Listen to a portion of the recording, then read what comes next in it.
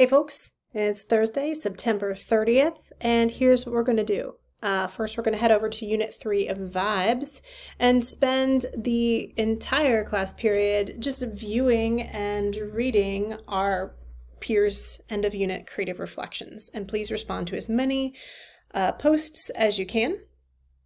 Don't phone it in, that's all we're doing today. So, for homework, we are going to read Hoard's uh, piece, An Ennoble Wildness, an analysis of cryptids as a queer culture. So, uh, I know that so this piece isn't explicitly focused on non-binary identities, although non-binary identities are mentioned in there, and I've already added my comments to the piece. I will say that this piece is still pretty short.